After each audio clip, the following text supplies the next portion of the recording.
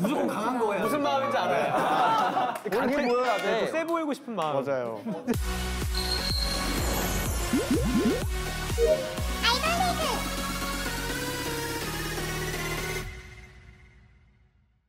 네, 이것도 빈칸에 들어갈 말은 무엇일까요? 이게 지수 씨의 엄청 유명한 별명이기도 하죠. 어, 음, 저달 사장님의 힌트를 듣고 바로 알았어요. 오, 네네네. 남천동 빨간 장갑 하는 거 아니에요? 딩동댕!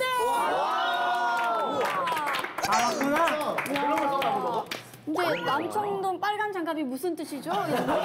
무서운데, 무서운데. 아니, 사실 저게 이제 제 게임 닉네임인데 아, 게임이구나. 근데 이제 어. 처음에 저희 이런 방송할 때 제가 별명이 남천동 빨간 장갑이다. 다들 조심해라 이렇게 말을 했는데 아. 그게 원래 흰 장갑이었는데. 원래 흰- 아, 예, 맞아. 네. 빨간 장갑이 된 거예요. 어, 그래도 확실히 기억에 남겠네요. 예. 자, 저도 뭐 옛날 뭐 버디버디 모르실 건데 오, 버디버디, 버디버디. 거기 아이디 다눈 가로.